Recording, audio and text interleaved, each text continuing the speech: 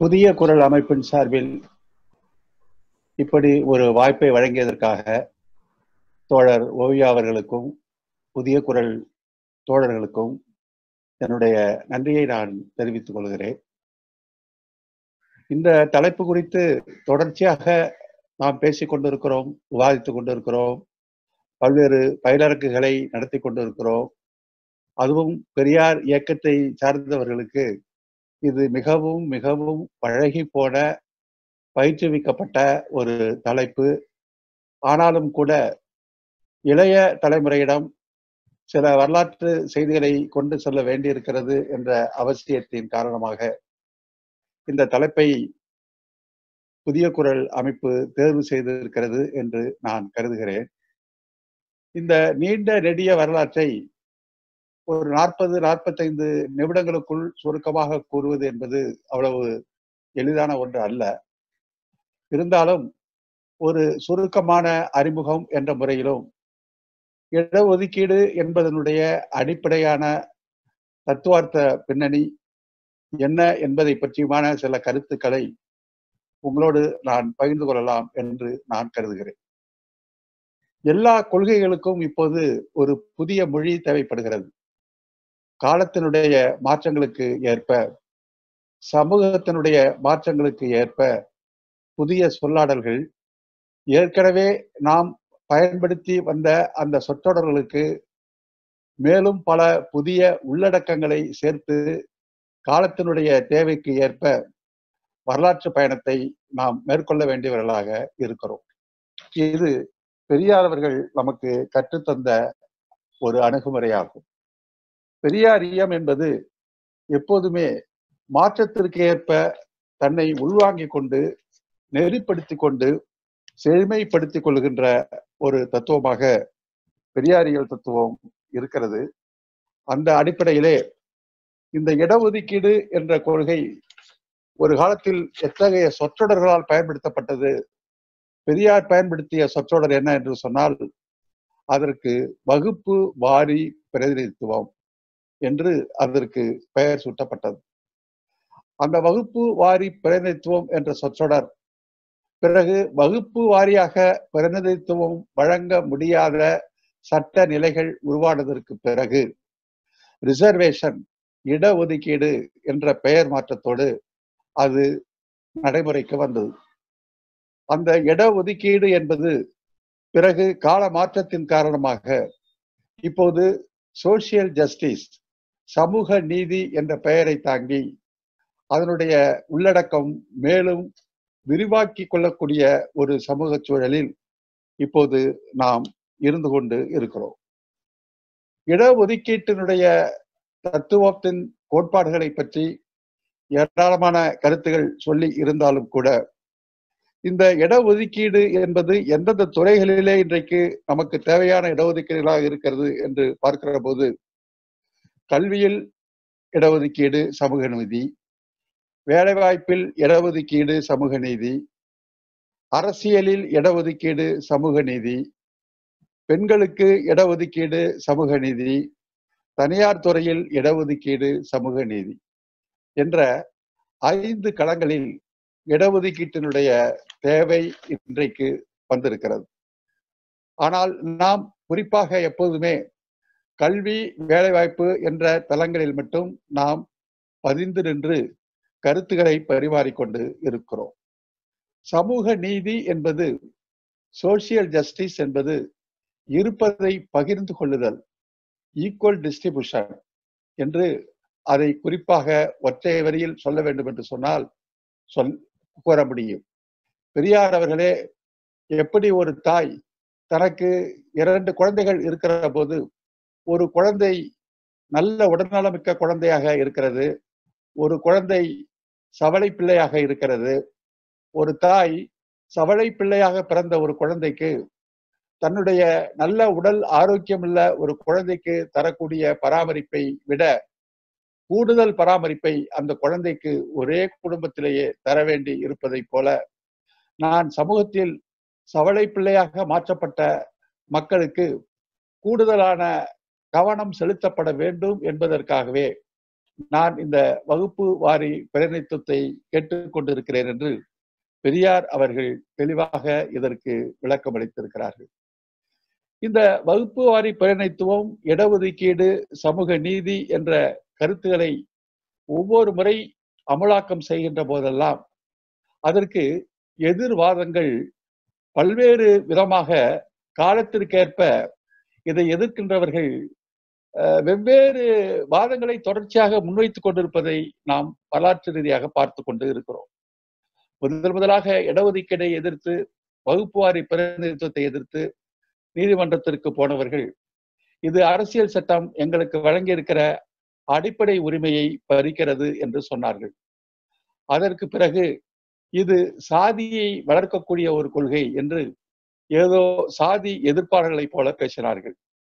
அதற்கு பிறகு தகுதி திறமையை இது கடுமையாக பாதிக்கிறது என்று அடுத்த எதிர்ப்பை வாதத்தை முன்வைத்தார்கள்.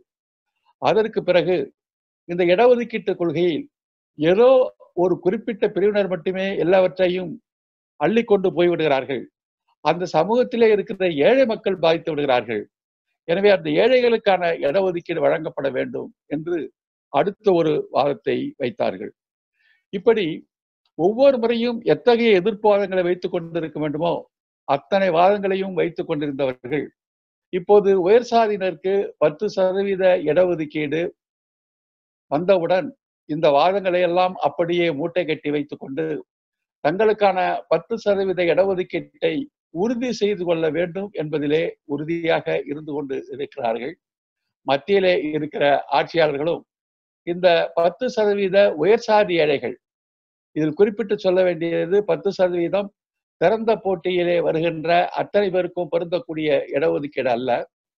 திறந்த போட்டியிலே வரக்கூடிய பட்டியலின பிரிவினர் பிற்படுத்தப்பட்டோர் அல்லாத உயர் சாதியினருக்கு மட்டுமே இந்த பத்து சதவீத உயர் சாதி ஏழைகளுக்கான ஒரு இடஒதுக்கீடு. இப்படி உயர் சாதிகளை மட்டும் தனியாக பிரித்து ஒரு இடஒதுக்கீடு செய்கின்ற போது அங்கே தகுதி திறமை போய்விடாதா? அங்கே சாதி வளராதா? அங்கே சம உரிமைக்கு அது எதிராக இருக்காதா என்பதை பற்றியெல்லாம் இவர்கள் கவலைப்படுவதற்கு தயாராக இல்லை. காரணம் வரலாற்று காலம் தொட்டு சமூகத்தை அடக்கி ஒடுக்கி ஆண்டு கொண்டிருந்தவர்கள் தங்களுடைய ஆதிக்கம் பறிபோகிறது என்ற ஆத்திரத்தின் காரணமாக வெளியிட்ட கூப்பாடுகளாகத்தான் அவை இருந்து கொண்டு இருக்கின்றன. இந்த சூழ்நிலையில் இந்த தலைப்பை நான் மூன்று கண்ணோட்டங்களில் வரலாற்று ரீதியாக பிரித்து கொண்டு சுருக்கமாக சில செய்திகளை பகிர்வது சரியாக இருக்கும் என்று நான் கருதுகிறேன். ஒன்று பிரிட்டிஷ் இந்தியாவில் உள்ள நம்முடைய சமூக நிலை. இரண்டாவது சுதந்திர இந்தியாவில் உள்ள நம்முடைய சமூக நீதியினுடைய நிலை. மூன்றாவது உலகமயமாக்கல் என்ற கொள்கை வந்ததற்கு பிறகு ஏற்பட்ட நம்முடைய சமூக நிலை நம்முடைய சமூக நீதிக்கு ஏற்பட்ட நெருக்கடிகள். ஆக இந்த மூன்று பிரிவுகளின் கீழ் இந்த கருத்துக்களை பகிர்வது சரியாக இருக்கும் என்று நான் கருதுகிறேன். குறிப்பாக பத்தொன்பதாவது நூற்றாண்டில் பிரிட்டிஷ் இந்தியாவில் பிரிட்டிஷ் காலனியின் கீழ் இந்தியா இருந்தபோது நம்முடைய சமூகம் எப்படி இருந்தது என்பதற்கு சான்றாக ஒரு சில செய்திகளை இளைஞர்கள் தெரிந்து கொள்ள வேண்டும் என்பதற்காக நான் சுட்டிக்காட்ட விரும்புகிறேன். அப்போதெல்லாம் பத்தொன்பதாவது நூற்றாண்டில் இன்றைக்கு தாழ்த்தப்பட்ட வகுப்பினர் என்று சொல்லப்படுகிற சமூக மக்கள் சூத்திரர்கள் சாதியிலே ரொம்ப கீழ்நிலையில் உள்ள மக்கள் எல்லாம் ஊதியம் இல்லாத அடிமைகளாக நடத்தப்பட்டார்கள். அவருடைய உழைப்புக்கு ஊதியம் கிடையாது. அவர்கள் தங்களுடைய பார்ப்பன உயர்சாதி நிலப்பிரபுக்களிடம் அடிமைகளாக ஊதியம் பெறாமல் வேலை செய்ய வேண்டும். இப்படி அவர்கள் வேலை செய்யாவிட்டால் அதற்கு கடுமையான தண்டனை உண்டு. இப்படி இந்த வேலை கொடுமையை தாங்க முடியாமல் அதிலிருந்து தப்பி வேறு மாவட்டத்திற்கு ஓடிப்போனவர்களை ஒரு மாவட்டத்தினுடைய ஆட்சித்தலைவர் இன்னொரு மாவட்ட ஆட்சித்தலைவருக்கு அப்போதெல்லாம் மாவட்ட ஆட்சித்தலைவராக இருந்தவர்கள் எல்லாம் பிரிட்டிஷ் அதிகாரிகள் அவர்கள் கடிதம் எழுதி எங்களுடைய மாவட்டத்திலிருந்து இந்த சமூகத்தை சேர்ந்த அடிமைகள் உங்கள் மாவட்டத்திற்கு ஓடி வந்து விட்டார்கள். அவரை பிடித்து கொண்டு உடனே இந்த மாவட்டத்திற்கு திருப்பி அனுப்புங்கள் என்று கலெக்டர்களுக்குள் ஆயிரத்தி எண்ணூற்றி முப்பதாம் ஆண்டு தஞ்சை கலெக்டருக்கு அவர் கடிதம் எழுதியிருக்கிறார். திருச்சி மாவட்ட கலெக்டருக்கு சேலம் கலெக்டர் தஞ்சை கலெக்டருக்கு கடிதம் எழுதியிருக்கிறார். இப்படி அடிமைகளாக ஓடி போனவர்கள் அங்கிருந்து பிடித்து கொண்டு வரப்பட்டு வேலை செய்கிறார்கள். அப்படி செய்யப்பட்டவர்கள் எல்லாம் சமூகத்தினுடைய அடித்தளத்து மக்களாகவே இருந்தார்கள். அதற்கு பிறகு ஆயிரத்தி எண்ணூற்றி நாற்பத்தி மூன்றில் அடிமை ஒழிப்பு சட்டம் என்ற ஒரு சட்டமே பிரிட்டிஷ் ஆட்சியால் கொண்டு வரப்பட்டது. இந்த அடிமைகளாக இப்படி வேலை வாங்கப்பட்ட மக்களாக இருந்தவர்கள் எல்லோருமே சமூகத்தினுடைய அடக்கப்பட்ட மக்களாக இருந்தார்கள். ஆயிரத்தி எண்ணூற்றி எழுபத்தி ஒன்றாம் ஆண்டு பிரிட்டிஷ் ஆட்சியினுடைய சென்சஸ் மக்கள் தொகை அறிக்கை. அந்த மக்கள் தொகை அறிக்கை இந்த அடிமை ஒழிப்பு சட்டம் வந்தாலும் கூட சமூக அடுக்கில் படு பாதாளத்தில் பொது பயணிகள் படகுகளில் படு பாதாளத்தில் தான் இந்த மக்கள் இன்றைக்கும் இருந்து கொண்டு இருக்கிறார்கள். பொது பயணிகள் படகுகளில் ஒரு பறையர் தனது முகத்தை காண்பித்து விட முடியாது. அரசு பள்ளிகள் அரசு உதவியோடு நடத்துகின்ற தனியார் பள்ளிகளிலும் கூட இதே நிலைதான் நீடிக்கிறது என்று ஆயிரத்தி எண்ணூற்றி எழுபத்தி ஒன்னாம் ஆண்டு மக்கள் தொகை அறிக்கை குறிப்பிடுகிறது. அதை போல ஒவ்வொரு சென்சஸ் அறிக்கையும் அதற்கு பிறகு ஆயிரத்து தொள்ளாயிரத்து ஒன்றாம் ஆண்டு எடுக்கப்பட்ட ஒரு சென்சஸ் அறிக்கை தெளிவாக ஒரு சமூகம் அன்றைக்கு எப்படி இருந்தது என்பதை வரையறுக்கிறது ஒரு மனிதனின் சாதி அவனது வாழ்வை ஆரம்பம் முதல் இறுதி வரை பாதித்து நிற்கிறது. அவனது வேலையை சாதியை தீர்மானிக்கிறது. அவனது இருப்பிடத்தை சாதியை தீர்மானிக்கிறது. அவனது நண்பர்கள் வட்டத்தையும் திருமணம் புரியக்கூடிய எல்லையை நிர்ணயிக்கும் சமூக அந்தஸ்தையும் சாதியே தீர்மானிக்கிறது. அவனது உணவை சாதி தீர்மானிக்கிறது. குடிக்கும் பானத்தை அவன் சூட்டை வேண்டிய பெயரை அவன் அணிய வேண்டிய ஆடையை அவனுடைய குடும்ப பெண்கள் அணியும் உடையை அவனது ஜாதியை தீர்மானம் செய்கிறது என்று ஆயிரத்தி தொள்ளாயிரத்தி ஒன்றாம் ஆண்டு எடுக்கப்பட்ட மக்கள் தொகை கணக்கெடுப்பு கூறுகிறது. இருபதாம் நூற்றாண்டில் எடுக்கப்பட்ட மக்கள் தொகை கணக்கெடுப்பில் பிரிட்டிஷ் ஆட்சியில் எடுக்கப்பட்ட மக்கள் தொகை கணக்கெடுப்பில் நம்முடைய சென்னை மாகாணத்தில் உள்ள முன்னூத்தி ஐம்பது சாதிகளை தொகுத்து பட்டியலிட்டார்கள். அந்த முன்னூத்தி ஐம்பது சாதிகளையும் பத்து பிரிவுகளாக பிரித்தார்கள். அந்த பத்து பிரிவுகளில் பிராமணர் சத்திரியர் வைசியர் சூத்திரர் என்று பிரிவுகள் பிரித்து ஐந்தாவது பிரிவாக புரோகிதம் செய்யக்கூடிய பிரிவு பிரிவு புரோகிதம் செய்யக்கூடாத பிரிவு தீண்டாமைக்கு உள்ளாக்கப்பட வேண்டிய பிரிவு தீண்டாமையிலிருந்து விலக்களிக்க வேண்டிய பிரிவு மாட்டுக்கறி சாப்பிட்டவர்கள் பிரிவு என்ற மூன்று அடிப்படையில் சூத்திரர்களை தீர்மானிக்கின்ற பிரிவை அன்றைக்கு அவர்கள் ஏற்படுத்தி வைத்திருந்தார்கள். இவைகளெல்லாம் நம்முடைய சமூக நிலை அன்றைக்கு எப்படி இருந்திருக்கிறது என்பதற்கு அரசு ஆவணங்கள் தருகின்ற சாட்சிகள். நாம் எல்லோருக்கும் தெரிந்த செய்தி என்னவென்று சொன்னால் முதல் முதல் நம்முடைய சமூகத்தில் இடஒதுக்கீடு என்ற கோட்பாட்டை உருவாக்குவதே வர்ணாசிரம தர்மம்தான். வர்ணாசிரம தர்மத்தை உருவாக்குவதற்கு பார்ப்பனர்கள் உருவாக்கி கொண்ட மனு சாஸ்திரம் தான் பிராமணருக்கான வாழ்க்கை முறை. சத்திரியர் வைசியர் சூத்திரர்கள் இவர்களிலிருந்து விலக்கி வைக்கப்பட்ட பஞ்சமர்கள் பஞ்சமர்களை விட்டுவிட்டு இந்த நான்கு வர்ணத்திற்கான வேலைப்பழு வேலைப்பணியை அவர்கள் செய்ய வேண்டிய கடமைகளை அதை மீறினால் கொடுக்கப்பட வேண்டிய தண்டனைகளை எல்லாம் இந்த வர்ணாசிரம தர்மத்தின் அடிப்படையில் உருவாக்கப்பட்ட மனு சாஸ்திரம் எழுதி வைத்து முதல் முதலாக இட ஒதுக்கீட்டை பிறப்பின் அடிப்படையில் துவக்கி வைத்தது அவர்கள்தான். காங்கிரஸ் கட்சி அன்றைக்கு எப்படிப்பட்ட நிலையில இருந்தது என்பதற்கு ஒரு சான்றை நான் சுட்டிக்காட்ட விரும்புகிறேன். ஆயிரத்தி தொள்ளாயிரத்தி ஒன்றாம் ஆண்டு கல்கத்தாவில் நடைபெற்ற காங்கிரஸ் மாநாட்டில் முதல் முதலாக காந்தியடிகள் சென்று அந்த மாநாட்டில் அவர் கலந்து கொண்டார்.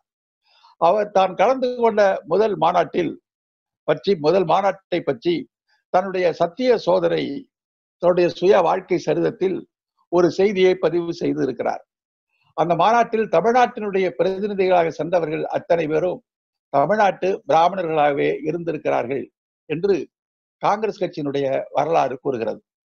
இது பற்றி காந்தியார் அவர்கள் தன்னுடைய சத்திய சோதனையில் எழுதுகின்ற அந்த குறிப்பை மட்டும் நான் இங்கே படித்து காட்ட விரும்புகிறேன். இங்கேயும் கணிசமான அளவுக்கு தீண்டாமை என்பதை நான் நேருக்கு நேர் சந்தித்தேன். பிற மாநிலத்திலிருந்து தமிழ்நாட்டு பிரதிநிதிகள் சமையலறை வெகு தொலைவில் இருந்தது. தமிழ் பிரதிநிதிகளை பொறுத்தவரை அவர்கள் சாப்பிடும் போது பிறர் பார்த்து விட்டாலே தீட்டாகி போய்விடும் என்று நினைத்து அப்படியே செயல்பட்டார்கள். எனவே கல்லூரி வளாகத்துக்குள்ளேயே மாநாடு நடக்கும் கல்லூரி வளாகத்துக்குள்ளேயே தடுப்புகள் அமைக்கப்பட்டிருந்தது. அதற்குள் தனி சமையலறை அவர்களுக்காக அமைத்து கொண்டு அங்கே மூச்சு திணற வைக்கும் ஒரே புகை மண்டலம் அந்த சமையலறைக்குள்ளிருந்தும் சாப்பாட்டு அறையிலிருந்தும் வெளிவந்து கொண்டு இருந்தது. கை கழுவு இடம் அப்படியே தான் இருந்தது. யாரும் நுழைய முடியாத அளவிற்கு ஒரு பாதுகாப்பு அறையாக அவர்கள் தங்கியிருந்த இடம் இருந்தது. என்னை பொறுத்தவரை இது வர்ண தர்மத்தின் ஒரு மோசமான வடிவமாக தெரிகிறது. காங்கிரஸ் பிரதிநிதிகளுக்கு இடையே இப்படி தீண்டாமை நிலவுமானால் இவர்கள் இருக்கும் பகுதிகளில் இது எந்த அளவுக்கு இருக்கும் என்று சிந்தித்த போது நான் பெருமூச்சு விட்டேன் என்று காந்தியடிகள் காங்கிரஸ் கட்சியிலே கலந்து கொண்ட தன்னுடைய முதல் அனுபவத்தில் தமிழ்நாட்டு பிராமணர்கள் மாநாட்டினுடைய பிரதிநிதிகளாக சென்றவர்கள் எப்படி சென்றார்கள் என்பதற்கான சான்றாக அவர் அதிலே பதிவு செய்து இருக்கிறார். மற்றொரு செய்தி பிரெஞ்சு நாட்டிலிருந்து அபே துபே என்று சொல்லப்படுகிற ஒரு பயணி பதினெட்டாம் நூற்றாண்டில் இந்தியாவிற்கு வந்து முப்பது ஆண்டுகள் இந்தியாவிலே தங்கி இங்கே தமிழ்நாட்டில் எத்தகைய நிலைமை சாதிவரி இருந்தது என்பதை பற்றி விரிவாக பிரெஞ்சு மொழியிலே ஒரு நூலாக எழுதினார். பிறகு அது ஆங்கிலத்திலே மொழிபெயர்க்கப்பட்டது. ஆங்கிலத்தில் மொழிபெயர்க்கப்பட்டு பிறகு தமிழிலும் அந்த நூல் வெளிவந்தது. அது மிகவும் சர்ச்சைக்குரிய ஒரு நூலாக அப்போது பேசப்பட்ட ஒரு நூலாகும். அப்போது அந்த நூலிலே அவர் பதிவு செய்திருக்கிற ஒரு கருத்து தமிழ்நாட்டில் வலங்கை பிரிவு இடங்கை பிரிவு வலங்கை பிரிவு இடங்கை பிரிவு அதாவது லெப்ட் ஹேண்ட் ரைட் ஹேண்ட் என்று சொல்லப்படுகிற இரண்டு பிரிவுகளின் கீழ் இங்கே இருக்கிற பல்வேறு சாதிகள் தனித்தனி அணிகளாக பிரிந்து கொண்டு ஒருவருக்கொருவர் அச்சமூட்டக்கூடிய அளவில் சண்டை போட்டுக் கொண்டு நாட்டில் பெரும் கலவரத்தை உருவாக்கி கொண்டு இருந்தார்கள். இதை பிராமணர்கள் சத்திரியர்கள் என்று சொல்லப்படுகின்ற பிரிவினர் நடுவர்களாக இருந்து இந்த இரண்டு பிரிவிலும் அவர்கள் தங்களை இணைத்துக் கொள்ளாமல் சமரசம் செய்து வைத்துக் கொண்டு தங்களுடைய மேல் ஆதிக்கத்தை தொடர்ச்சியாக நிலைநாட்டிக் கொண்டு இருந்தார்கள். பல இடங்களில் உயிரோடு கணவன் இறந்த சிதையில் மனைவி எரிப்பதை நான் நேரடியாக பார்த்தேன் என்றெல்லாம் தெளிவாக அவர் அந்த சமூக நிலையை அதில் படம் பிடித்து காட்டியிருக்கிறார். நான் இவற்றையெல்லாம் சுட்டி இருப்பதற்கு காரணம் சாதிய அமைப்பு என்பது எந்த நிலையிலே அப்போது இருந்திருக்கிறது என்பதை நாம் புரிந்து கொள்ள வேண்டும். அதற்கு நீதி கேட்பதற்கு வந்ததற்கு தான் இந்த வகுப்புவாரி பிரதித்துவ கொள்கை வந்தது என்பதை விளக்குவதற்காகத்தான் இந்த தரவுகளை நான் உங்கள் முன்னால் வைத்தேன். ஒரு ஒரு புள்ளி விவரத்தை சொல்ல வேண்டும் என்று சொன்னால் ஆயிரத்து தொள்ளாயிரத்து பதினைந்தில் படித்தவர்கள் சென்னை மாகாணத்தில் வெறும் எட்டு சதவீதம். ஆனால் பிராமணர்களில் பார்ப்பனர்களில் படித்தவர்கள் எழுபத்தைந்து சதவீதம் பேர். பல்கலைக்கழகத்தில் பதிவு செய்த பட்டதாரிகள் அறுநூற்றி ஐம்பத்தி ஆறு பேரில் நானூற்றி ஐம்பத்தி ரெண்டு பேர் பார்ப்பனர்கள். நூற்றி இருபத்தி நாலு பேர் பார்ப்பனர்களான இந்து. ஆயிரத்து தொள்ளாயிரத்து பதிமூன்றாம் ஆண்டு நிரந்தர மாவட்ட முன்சிப் நூத்தி இருபத்தி எட்டு பேரில் பார்ப்பனர்கள் தொண்ணூத்தி மூன்று பேர். இருபத்தைந்து பேர் தான் பார்ப்பனர் அல்லாதவர். அரசு பணிகளில் எழுபத்தி ஒரு சதவீதம் பேர் பார்ப்பனர்களாக இருந்தார்கள் என்று புள்ளி விவரங்கள் கூறுகிறது. அகில இந்திய காங்கிரஸ் கட்சியினுடைய உறுப்பினராக தமிழ்நாட்டிலிருந்து தேர்ந்தெடுக்கப்பட்ட பதினாறு பேரில் பதினைந்து பேர் பார்ப்பனர்கள் என்று அந்த புள்ளி விவரம் கூறுகிறது இப்படி ஏராளமாக சொல்லிக்கொண்டே போகலாம். ஆனால் நம்முடைய சமூகத்தினுடைய நிலை எப்படி இருந்தது? பிரிட்டிஷ்காரர்கள் காலத்திலே பிரிட்டிஷ்காரர்கள் வருகைக்கு முன்பு அவர்கள் பொது கல்வி என்ற ஒரு கல்வி முறையை மெக்காலே உருவாக்குவதற்கு முன்பு இங்கே இருந்தது எல்லாம் வெறும் குருகுல கல்விதான் இருந்தது. அந்த குருகுல கல்வியில் வேதங்கள் மட்டும்தான் பாடங்களாக சொல்லிக் கொடுக்கப்பட்டது. இந்த குருகுல கல்வியை தான் நம் நாட்டில் நாம் பெருமையுடன் பேசிக் கொண்டிருக்கிற சேர மன்னர்கள் சோழ மன்னர்கள் பாண்டிய மன்னர்கள் பல்லவ மன்னர்கள் விஜயநகர மன்னர்கள் சேதுபதிகள் ராஜாக்கள் இவர்களுடைய ஆட்சி எல்லாம் கூட இந்த குருகுல கல்வி முறையை தான் போற்றி வளர்த்ததை தவிர அனைவருக்கும் கல்வி தர வேண்டும் என்ற நிலையை உருவாக்கவில்லை. மெக்காலே தான் இந்த எல்லோருக்கும் எப்படி ஒரு பொதுவான கிரிமினல் சட்டத்தை கொண்டு வந்தாரோ அதே போல ஒரு கல்விக்கான ஒரு கொள்கையை உருவாக்கி அந்த அதிகாரி கல்விக்காக ஒரு வகுப்பு அதற்கு ஒரு ஆசிரியர் அதற்கு ஒரு நூ பாடநூல் அதற்கு ஒரு கரும்பக கரும்பலகை அதற்கு மாணவர்கள் வருகை பதிவேடு என்று முழுமையாக பார்ப்பன கல்வி வேத கல்வி என்ற முறையை மாற்றி ஒரு முறையான பள்ளி கல்வியை இந்த நாட்டில் அறிமுகப்படுத்திய பெருமை பிரிட்டிஷ் ஆட்சியை சாரும் மெக்காலவே சாரும். பல பேர் இப்போது மெக்காலே கல்வி முறை குமசாக்களை உருவாக்குகிற அடிமை கல்வியாக ஆக்கிவிட்டது என்றெல்லாம் சொல்லுகிறார்கள். பிரிட்டிஷ்காரர்களுடைய நோக்கம் அப்படிப்பட்ட ஒரு நோக்கமாக இருக்கலாம். ஆனால் வேத பாடத்திலிருந்து அறிவியலுக்கு எதிரான ஒரு பாடத்திலிருந்து ஒரு கழுதையை செத்தால் எந்த மந்திரத்தை ஓதலாம்? ஒரு நாய் செத்து போய்விட்டால் எந்த மந்திரத்தை எப்படி சொல்வது? எந்த பரிகாரத்திற்கு எந்த சடங்குகளை செய்வது? என்ற மக்களுடைய மூளையை மழுங்கடிக்கக்கூடிய சடங்குகளை அறிவியலுக்கு எதிரான கருத்துக்களை தான் இந்த நாட்டில் பள்ளி பாடங்களாக நடத்தி கொண்டிருந்தார்கள் என்று மெக்காலே தன்னுடைய கல்வி அறிக்கையில் தெளிவாக குறிப்பிட்டு சுட்டிக்காட்டி இப்படிப்பட்ட ஒரு பாடத்திட்ட முறையை அவர் உருவாக்கி காட்டினார். ஆக இப்படிப்பட்ட பள்ளி கல்வியிலே மாற்றங்கள் வருகின்ற நேரத்தில் பெரியார் வகுப்புவாரி பிரதித்துவம் என்ற கருத்தை இங்கே சொல்லுகிறார். வேறு பெரியாருக்கு முன்பே மைசூர் நம்ம கர்நாடகத்தில் மைசூரில் இந்த அங்கே இந்த இடஒதுக்கீட்டுக்கான சமஸ்தானங்களில் இடஒதுக்கீட்டுக்கான ஐம்பது சதவீத இடஒதுக்கீட்டு முறைகள் அங்கே கொண்டு வரப்படுகிறது. வகுப்புவாரி பிரதித்துவம் என்ற கொள்கையை காங்கிரஸ் கட்சியிலே இருந்து கொண்டே பெரியார் ஐந்தாண்டுகள் போராடி அந்த அந்த கொள்கையை காங்கிரஸ் கட்சி ஏற்றுக்கொள்ள வேண்டும் என்று அவர் போராடினார். அன்றைக்கு காங்கிரஸ் கட்சி அதை ஏற்றுக்கொள்ள மறுத்தது. அதன் காரணமாக பெரியார் வெளியேறினார். சுயமரியாதை இயக்கம் கண்டார். அந்த வரலாறு வேறு. ஆனால் அதே காங்கிரஸ் கட்சியை சேர்ந்த சோனியா காந்தி இன்றைக்கு ஒரு அறிக்கை விட்டிருக்கிறார். அகில இந்திய கோட்டாவில் பிற்படுத்தப்பட்ட மக்களுக்கான இடஒதுக்கீட்டை மறுப்பது என்பது மிகப்பெரிய ஒரு அநீதி என்று இன்றைக்கு அவர் அறிக்கை விடுகிறார். இதுதான் வரலாற்றின் திருப்பம் என்பதாக நாம் பார்க்க வேண்டும். எந்த மண்டல் குழு பரிந்துரையை ராஜீவ்காந்தி எதிர்த்து பேசி பிபி சிங் ஆட்சியை கவிழ்ப்பதற்கு துணை போனாரோ அதே மண்டல் குழு அறிக்கையில் கல்விக்கான இடஒதுக்கீட்டை அதற்கு பின்னால் காங்கிரஸ் ஆட்சியில் தான் அர்ஜுன் சிங் என்ற காங் அமைச்சர் முயற்சியால் கொண்டு வரப்பட்டது என்ற வரலாற்றையும் நாம் பார்க்கிறோம். எனவே வரலாற்று நிர்பந்தம் என்பது சமூக நீதியை நோக்கிதான் அதை எதிர்த்தவர்களும் கூட பயணிக்க வேண்டும் என்ற நிலைக்கு கொண்டு சென்று அது இன்றைக்கு ஒரு சமூக நீதிக்கான சமூக மாற்றத்திற்கான ஒரு திறவுகோள் என்ற எல்லையை எட்டி நிற்கிறது. குறிப்பாக காஞ்சிபுரம் சங்கராச்சாரி இறந்து போன சங்கராச்சாரி சந்திரசேகர சேகரேந்திர சரஸ்வதி சுவாமிகள். அவர் இந்த கம்யூனல் ஜீவோ என்ற இடஒதுக்கீடு முறை வந்தபோது அவர் தன்னுடைய கருத்தை வெளிப்படுத்தியதை அவருடைய கருத்தை தொகுத்து வெளியிட்டிருக்கிற தெய்வத்தின் குரல் என்ற நூலில் குறிப்பிடப்பட்டு இருக்கிறது. அதிலே சங்கராச்சாரி மூத்த சங்கராச்சாரி சொல்லுகிறார் நான் சொல்வது எல்லோருக்கும் தான் என்றாலும் பிராமணர்களில் வசதி உள்ள பென்ஷன்தாரர்களுக்கு இதை குறிப்பாக சொல்கிறேன். மற்ற சமூகங்களில் நிராதரவான இளைஞர்களை ஆதரிக்க அந்தந்த சமூகத்தில் வசதி உள்ளவர்கள் நிரம்ப ஏற்பாடுகளை செய்திருக்கிறார்கள். பிராமணர்களுக்குத்தான் அந்த ஸ்பிரிட் இல்லை. காலேஜ் அட்மிஷன் உத்தியோகம் பெறுவது எல்லாவற்றிலுமே கம்யூனல் ஜீவோ வந்த நாளாக பிராமண பசங்கள் அதிக கஷ்ட திசையில் இருக்கிறார்கள். கம்யூனல் ஜீவோ வந்த நாளாக நாள் முதல் பிராமண பசங்கள் அதிக கஷ்ட திசையில் இருக்கிறார்கள். இப்போது அந்த சமூகத்தில் சௌகரிய சௌகரியம் உள்ளவர்கள் இதை கவனிக்காமல் இருப்பது கொஞ்சம் கூட நியாயமில்லை.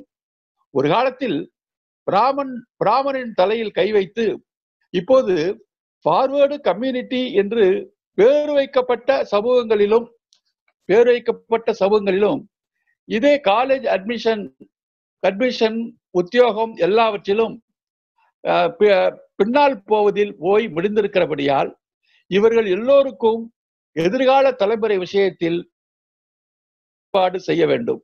சில வகுப்புகளுக்கு உள்ள உரிமைகளையும் புறக்கணித்துவிட்டு சர்க்காரே பிற்பட்ட வகுப்பினருக்கு அதிகம் சலுகை காட்டுவதால் தான் இந்த விஷயத்தில் மட்டும் நான் கொஞ்சம் கம்யூனல் பேஸில் பேசியாக வேண்டி இருக்கிறது என்று உலகத்திற்கு ஆன்மீகத்தை பேச வந்தவர் உலகத்தினுடைய குரு என்று சொல்லப்பட்டவர் அவர்தான் உண்மையான சங்கராச்சாரி மற்றவர்கள் எல்லாம் போலி என்று அவருடைய இறப்புக்கு பிறகு பெருமையாக தலையில் தூக்கி வைத்து ஆடப்பட்டவர்கள் நான் கம்யூனலில் பேச வேண்டியிருக்கிறது.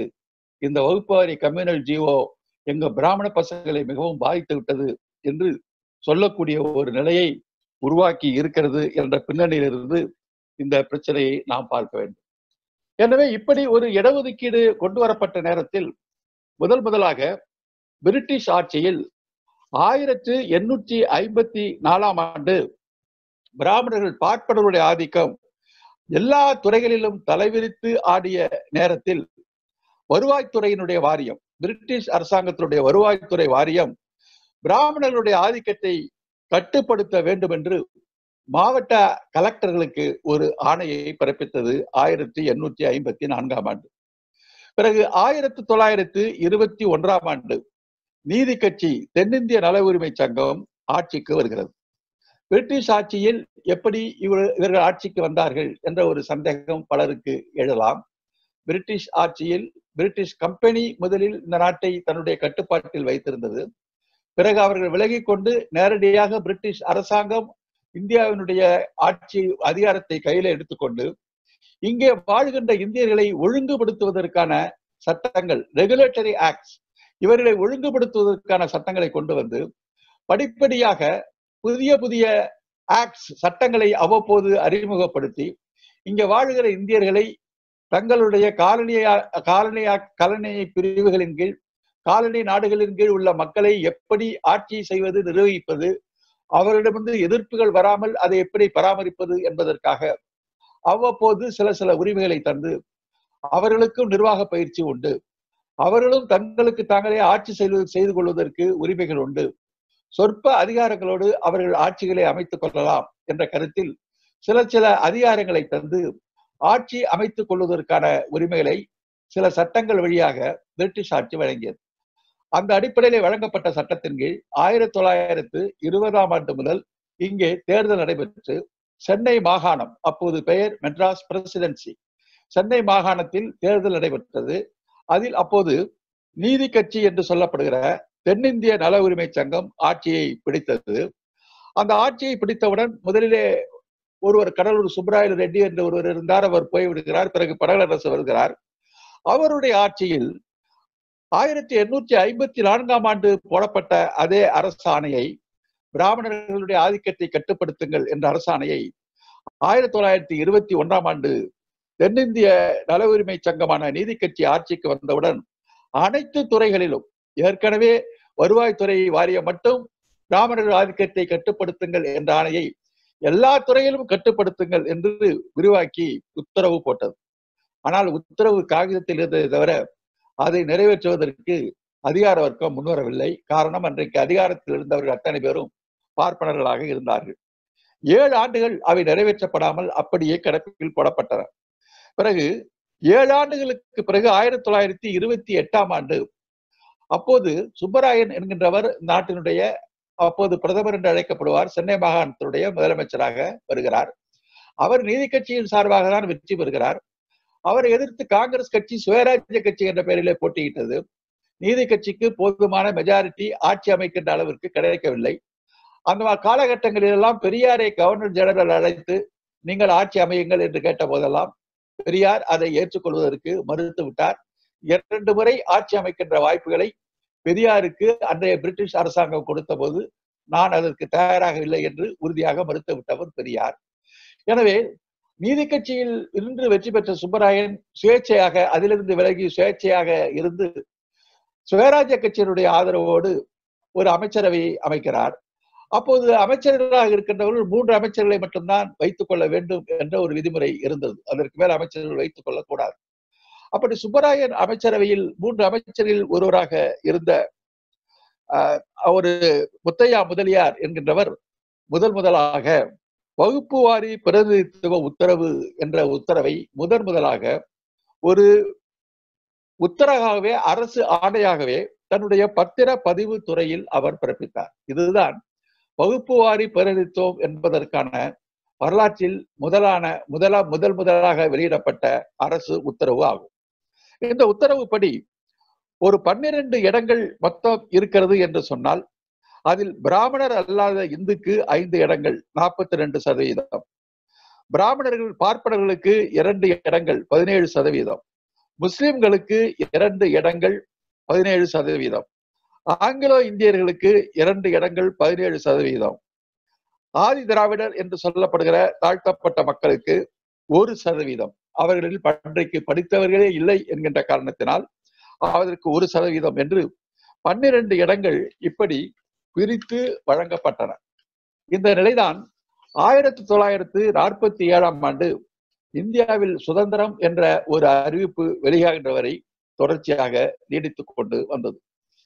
சுதந்திர இந்தியாவில் ஆயிரத்தி தொள்ளாயிரத்தி ஐம்பதாம் ஆண்டு இந்த வகுப்பு வாரி பிரதிநிதித்துவத்தை எதிர்த்து அன்றைக்கு செண்பகம் துரைராசன் என்று சொல்லப்படுகிற ஒரு பெண்மணியும் சீனிவாசன் என்று சொல்லப்படுகிற ஒரு பார்ப்பனரும் சென்னையிலே வழக்கு தொடுகிறார்கள். உயர்நீதிமன்றத்திலே ஒரு வழக்கை தொடுகிறார்கள். அவர்கள் அரசியல் சட்டம் அனைவருக்கும் சமம் என்று கூறுகிறது. இதில் எங்களுடைய நான் பிராமண சமூகத்தில் பிறந்த காரணத்தினால் எனக்கு கிடைக்க வேண்டிய மருத்துவக் கல்லூரிக்கான இடங்கள் இந்த வகுப்புவாரி பிரதித்துவத்தால் கிடைக்காமல் போய்விட்டது. எனவே இந்த உத்தரவை ரத்து செய்ய வேண்டும் என்று சென்னை உயர்நீதிமன்றத்திலே அந்த பெண்மணி வழக்கு போட்டார். வழக்கு போட்டவருக்கு அப்போது வயது முப்பத்தி நான்கு முப்பத்தி நான்கு வயதில் ஒரு பெண்மணி மருத்துவக் கல்லூரிக்கு மனுவே போட முடியாது என்பது ஒன்று. இரண்டாவது அந்த மனு அந்த பெண்மணி மருத்துவக் கல்லூரிக்கு மனுவே போடாமல் தான் மனு போட்டதாகவும் மனு போட்டதால் தனக்கு கிடைக்க வேண்டிய உரிமை மறுக்கப்பட்டு விட்டதாகவும் மனுவே போடாமல் அவர் மனு போட்டிருந்தார் அவர் வழக்கை தொடுத்திருந்தார் என்ற செய்தி இந்த வழக்கு உச்சநீதிமன்றத்திற்கு மேல்முறையீட்டிற்கு தெரியும் போது அம்பல அம்பலத்திற்கு வந்தது. அந்த வழக்கில் அரசியல் நிர்ணய சபையில் உறுப்பினராக ஒருவராக இருந்த மிகப்பெரிய சட்ட மேதை என்று சொல்லக்கூடிய அல்லாடி கிருஷ்ணசாமி ஐயர் அவர் அரசியல் நிர்ணய சபையினுடைய உறுப்பினர். அவரே இந்த வழக்கில் ஒரு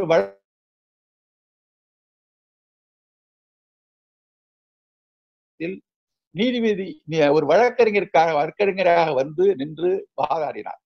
அரசியல் நிர்ணய சபையை உருவாக்கியவரே சட்டத்திற்கு விளக்கங்கள் கூறி வகுப்புவாரி பிரதிநிதித்துவம் சட்டத்திற்கு எதிரானது என்று சொல்லுகிற போது நீதிமன்றம் அதை எப்படி ஏற்கும் என்பதை நாம் சொல்ல வேண்டிய அவசியமில்லை. அன்றைய நீதிமன்றங்கள் எப்படிப்பட்ட நீதிமன்றங்களாக இருந்தன என்பதை விளக்க வேண்டிய அவசியமும் இல்லை. எனவே அந்த வகுப்புவாரி பிரதிநிதித்துவம் செல்லாது என்று உயர்நீதிமன்றம் கூறிவிட்டது. பிறகு உச்ச நீதிமன்றம் போகிறார்கள். உச்சநீதிமன்றமும் அதையே கூறிவிட்டது. இதன் காரணமாக பெரியார் கொதித்து எழுந்தார். திராவிட முன்னேற்ற கழகமும் போராட்ட களம் அமைத்தது. தமிழ்நாடு முழுதும் கடுமையான போராட்டங்கள் நடந்தன. பாராளுமன்றத்தில் இது குறித்த விவாதங்கள் அப்போது வந்தன. அப்போது கடுமையான எதிர்ப்புகள் தமிழகத்திலிருந்து உருவாக்கிய காரணத்தினால் சட்ட அமைச்சராக அப்போது இருந்தவர் புரட்சியாளர் அம்பேத்கர் அவர்கள் இந்தியாவினுடைய சுதந்திர இந்தியாவின் முதல் சட்ட அமைச்சராக அவர் இருந்தார். நேரு பிரதமராக இருந்தார். எனவே அவர்கள் இணைந்து இதற்காக ஒரு சட்ட திருத்தம் ஒன்றை கொண்டு வர வேண்டும் என்று அவர்கள் ஒரு சட்ட திருத்தத்தை கொண்டு வந்தார்கள். அந்த சட்ட திருத்தம் தான் முதல் முதலாக கல்விக்கான ஒதுக்கீட்டு உரிமையை வழங்குகின்ற சட்ட திருத்தம். வகுப்பு வாரி பிரதிநிதித்துவம் செல்லாது என்று சொல்லப்பட்ட நிலையில் சமூக கல்வி ரீதியாக பின்தங்கிய மக்களுக்கு இடஒதுக்கீடு வழங்குவதில் அடிப்படை உரிமை எதுவும் பாதித்துவிட முடியாது என்று பதினைந்து நான்கு என்ற பதினைந்து ஒன்று என்ற பிரிவின் கீழ் ஒரு சட்ட திருத்தம் அப்போது கல்விக்காக கொண்டு வரப்பட்டது. ஏற்கனவே அரசியல் சட்டத்தில் அம்பேத்கர் அவர்கள் தலி இடஒதுக்கீட்டுக்கு வேலை வாய்ப்பு பதினாறு ஏழை வாய்ப்புக்கான இடஒதுக்கீட்டுக்கான சட்டத்தை மட்டும்தான் அவர் உறுதி செய்திருந்தார். கல்விக்கான இடஒதுக்கீடு அரசியல் சட்டத்தில் உறுதி செய்யப்படவில்லை. கல்விக்கான அரசியல் சட்ட திருத்தம் வந்து முதல் முதலாக அரசியல் சட்டம் திருத்தப்பட்டு கல்விக்கான உரிமை உறுதி செய்யப்பட்டது என்பது தமிழகத்திலே பெரியாரும் பெரியார் இயக்கமும் போராடி பெற்ற சட்ட உரிமையினால் கிடைத்த ஒரு வெற்றி. இன்றைக்கு நாம் இந்தியா முழுதும் பிற்படுத்தப்பட்ட மக்களுக்கான கல்வி உரிமையை பற்றி நாம் பேசுகிறோம் என்று சொன்னால் இந்த கல்வி உரிமைக்கு வித்திட்டது அடிக்கல்லாக அந்த உரிமையை தாங்கி நிற்பது என்பது இந்த அரசியல் சட்டத்திலே செய்யப்பட்ட முதல் திருத்தம் தான் என்பதை நாம் மறந்துவிடக்கூடாது. அதற்கு பிறகு சுதந்திர ஆட்சி காலத்தில் ஓமந்தூர் ராமசாமி ரெட்டியார் என்ற காங்கிரஸ்காரர் தமிழ்நாட்டினுடைய பிரதமராக வருகிறார். அவர் மிகப்பெரிய வள்ளலார் பக்தர் விவசாயி. ஆனால் ஒரு நேர்மையான முதலமைச்சர். பெரியார் இயக்கத்தோடு அவருக்கு கொள்கையில் கடுமையான கருத்து மாறுபாடு உண்டு என்று சொன்னாலும் இந்த சமூக நீதி இடஒதுக்கீட்டு கொள்கையில் அவர் உறுதியான நிலைப்பாட்டை அவர் எடுத்திருந்தார். இது நியாயம் என்பதை அவர் உணர்ந்திருந்தார். பார்ப்பனர் ஆதிக்கத்தை பற்றி அவர் நன்றாக புரிந்திருந்தார். தமிழகத்தில் பல மாற்றங்களுக்கு பல சாதனைகளுக்கு அடித்தளமிட்டது ஓமந்தூர் ராமசாமி ரெட்டியார் அவர்களுடைய ஆட்சி என்பதை நாம் உறுதியாக சொல்ல முடியும். அவர் ஆட்சி காலத்தில்தான் ஏற்கனவே நீதி கட்சி ஆட்சி காலத்தில் கோயில்கள் அதுவரை பார்ப்பனர்களுடைய கட்டுப்பாட்டில் இருந்ததை அரசு கட்டுப்பாட்டில் கொண்டு வருவதற்கான ஒரு தனி ஆணை பிறப்பிக்கப்பட்டது. ஆனால் முதல் முதலாக இதற்காக இந்து அறநிலையத்துறை என்ற அமைப்பை உருவாக்குகின்ற ஒரு சட்டத்தை உருவாக்கியது ஓமந்தூர் ராம் ராமசாமி ரெட்டியாருடைய ஆட்சி காலத்தில் தான் அதே போல தேவதாசிகள் கோயில்களில் பொட்டு கட்டுகிற தேவதாசிகளை ஒழிப்பதற்கு முத்துலட்சுமி ரெட்டியார் அவர்கள் மூன்று முறை மசோதாக்களை ஏற்கனவே கொண்டு வந்து அந்த மசோதாக்கள் பிரிட்டிஷ் ஆட்சி காலத்தில் ஆளுநருடைய கையெழுத்திற்கு போகின்ற போது மூன்று முறையும் ஆளுநர் கையெழுத்திடாமல் பார்ப்பன அதிகார வர்க்கம் அதை தடுத்து நிறுத்திவிட்டது. எனவே அப்போது அந்த சட்டத்தை கொண்டு வர முடியவில்லை. ஓமந்தூரார் அவருடைய ஆட்சி காலத்தில் தான் இந்த தேவதாசிகள் ஒழிப்பு சட்டமும் முதன்முறையாக கொண்டு வரப்பட்டது என்பதையும் நாம் சுட்டிக்காட்ட வேண்டும். எனவே அந்த ஓமந்தூர் ராமசாமி ரெட்டியார் தான் இந்த இடஒதுக்கீட்டு சட்ட சட்ட திருத்தங்கள் வந்து சமூக கல்வி ரீதியாக மக்களுக்கு இடஒதுக்கீடு என்று வருகிற போது அவர் இந்த இடஒதுக்கீட்டிலே பதினான்கு இடங்களில் பிராமணர் அல்லாத இந்துக்களுக்கு ஆறு பிற்படுத்தப்பட்ட இந்துக்களுக்கு பதினாலு இடங்களில் ஆறு நாற்பத்தி மூன்று சதவீதம் பிற்படுத்தப்பட்ட இந்துக்களுக்கு ரெண்டு இடங்கள் பதினான்கு சதவீதம் பார்ப்பனர்களுக்கு பதினான்கு சதவீதம் ரெண்டு இடங்கள் தாழ்த்தப்பட்டோருக்கு ரெண்டு சத ரெண்டு இடங்கள் பதினான்கு சதவீதம் ஆங்கிலோ இந்தியர்களுக்கு கிறிஸ்தவர்களுக்கு ஒரு இடம் ஏழு சதவீதம் முஸ்லிம்களுக்கு ஒரு இடம் ஏழு சதவீதம் என்று முதன் முதலாக பிற்படுத்தப்பட்ட இந்து என்ற பிற்படுத்தப்பட்டோருக்கான இடஒதுக்கீடு என்ற முதல் முறையாக ஏற்கனவே பார்ப்பனர் அல்லாத இந்துக்கள் என்றுதான் இருந்தது. பிற்படுத்தப்பட்ட இந்து என்ற முதல் சட்டத்தை அவர்தான் கொண்டு வந்தார். அவருடைய ஆட்சியில்தான் சென்னை உயர்நீதிமன்றத்திலே சோமசுந்தரம் என்கின்ற ஒரு தமிழர் முதல் முதலாக உயர்நீதிமன்றத்தினுடைய நீதிபதியாக நியமிக்கப்பட்டார். அதற்கு கடுமையான எதிர்ப்புகள் அரசாங்கத்தினுடைய பிளீடராக இருந்த ஒருவரை எப்படி நீதிபதியாக நியமிக்கலாம் என்று கடுமையான எதிர்ப்புகள் வந்தபோது அதை எதிர்த்து உறுதியாக அவர் நின்றவர். இந்து ஆங்கில பத்திரிகை அதை கடுமையாக எதிர்த்து எழுதியது. தலைமைச் செயலகத்துக்கு வந்த ஓமந்தோரார் இந்து ஆசிரியரை தன்னுடைய தலைமைச் செயலகத்துக்கு தொலைபேசியில் அழைத்து என்னை வகுப்புவாதி என்று உங்கள் பத்திரிகையில எழுதுகிறீர்களே என்று கேட்டார். ஆமாம் அப்படித்தான் எழுதியிருக்கிறோம் என்று இந்து ஆசிரியர் சொன்னபோது அவர் அவரிடம் திருப்பி கேட்டார். உங்களுடைய இந்து பத்திரிகையில் உங்களுடைய சமூகத்தை சார்ந்தவர்களுக்கு எத்தனை பேருக்கு வேலை கொடுத்திருக்கிறீர்கள்? உங்கள் சமூகத்தை சாராத எத்தனை பேருக்கு வேலை கொடுத்திருக்கிறீர்கள் என்ற கேள்வியை நேரடியாகவே கேட்ட ஒரு துணிச்சலான தலைவராக அவர் அப்போது இருந்திருக்கிறார். எனவே அந்த அளவிற்கு அவரால் காப்பாற்றப்பட்டது. பிறகு அவருடைய நேர்மையான ஆட்சியை தாக்கு பிடிக்க முடியாமல் அவரை பதவி விலக வேண்டியிருந்தது. அதற்கு பிறகு ராஜகோபாலாச்சாரி ஆட்சி சில காலம் வந்த வந்ததற்கு பிறகு அவர் குலக்கல்வி திட்டத்தை கொண்டு வந்தார். சமூக நீதியை குறிபறிக்கின்ற அத்தனை வேலைகளையும் செய்தார். கிராமத்து பள்ளிகளை எல்லாம் இழுத்து மூடினார். பெரியார் போர் சங்கு ஊதினார். கடும் எதிர்ப்பு போராட்ட களத்தை அமைத்தார். அதற்கு பிறகு காமராசர் வந்தார். காமராசர் ராஜாஜி கொண்டு வந்த ஆச்சாரியார் கொண்டு வந்த அத்தனை சமூக நீதிக்கு எதிரான திட்டங்களையும் ஒழித்து கட்டிவிட்டு இடஒதுக்கீட்டுக்கு சமூக நீதிக்கு ஆதரவாக கிராம பள்ளிகளை திறந்து குலக்கல்வி திட்டத்தை ஒழித்து இட ஒதுக்கீட்டு கொள்கையை முழுமையாக அமல்படுத்தி பெரியார் பாதையில் ஆட்சியை நடத்தக்கூடிய ஒரு தலைவராக அதற்கு பிறகு காமராசர் ஆட்சி செயல்பட்டார். அதை தொடர்ந்து தொடர்ச்சியாக தமிழகத்தில் வருகிற ஒவ்வொரு ஆட்சி எந்த ஆட்சியாக இருந்தாலும் சரி இடஒதுக்கீட்டு கொள்கை என்பது அவ்வப்போது மாற்றத்திற்கு உள்ளாக்கப்பட்டு கொண்டுதான் இருந்தது. இதில் இன்னொரு செய்தியை நாம் சொல்ல வேண்டும். நாம் நினைத்துக் கொண்டிருக்கிறோம் மண்டல் பரிந்துரை வந்ததற்கு பிறகுதான் மத்திய அரசு பதவிகளில் பிற்படுத்தப்பட்டோருக்கு இடஒதுக்கீடு கிடைத்தது என்பதை நான் நினைத்துக் கொண்டிருந்தோம்.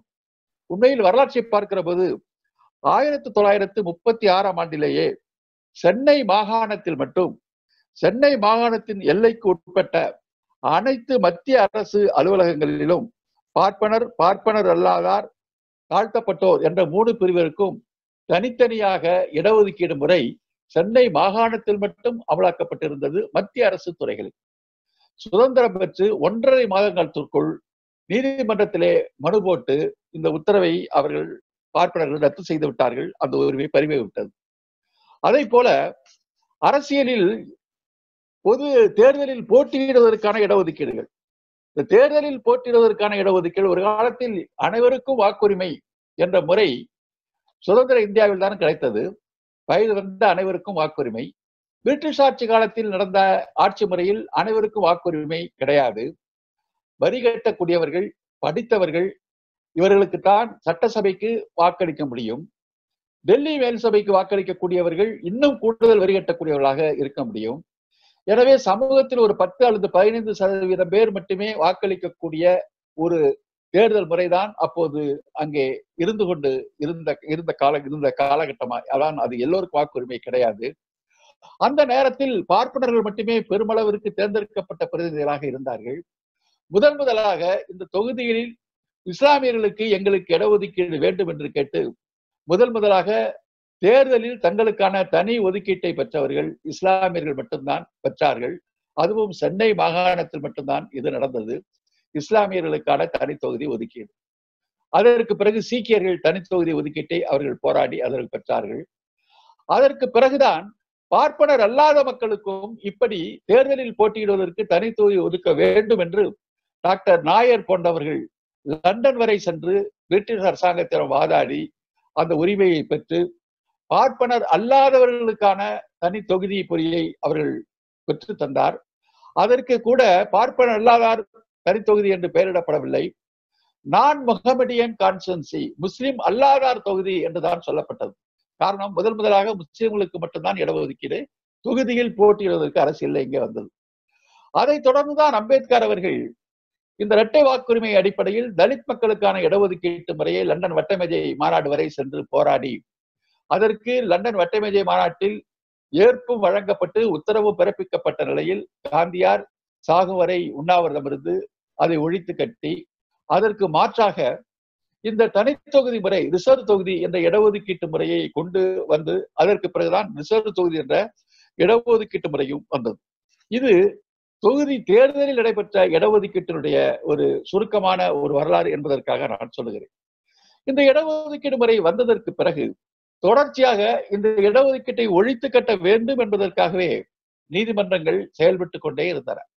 இதற்காக தொடர்ச்சியாக வழக்குகள் வந்து கொண்டே இருந்தன. கர்நாடக மாநிலத்தில் இடஒதுக்கீடு அறுபத்தெட்டு சதவீதம் இருந்தது. அதை எடுத்து ஆயிரத்தி தொள்ளாயிரத்தி அறுபத்தி மூன்றில் ஒரு வழக்கு தொடர்ந்தார்கள். அந்த வழக்கில் உச்சநீதிமன்றம் இடஒதுக்கீடு ஐம்பது சதவீதத்திற்கு மேல் போகக்கூடாது என்று ஒரு உத்தரவை பிறப்பித்து இடஒதுக்கீட்டுக்கு ஒரு எல்லை உச்ச வரம்பை அது நிர்ணயித்தது. இது ஆயிரத்தி தொள்ளாயிரத்தி அறுபத்தி மூன்றாம் ஆண்டு பாலாஜி வர்சஸ் கர்நாடகம் என்று சொல்லப்பட்ட வழக்கு. அடுத்து நான் ஏராளமான வழக்குகள் இருக்கிறது. ஆனால் இந்த இடஒதுக்கீட்டை குலைப்பதற்கு என்னென்ன முயற்சி நடந்திருக்கிறது என்பதற்காக ஒன்று ரெண்டை மட்டும் நான் சுட்டிக்காட்ட விரும்புகிறேன்.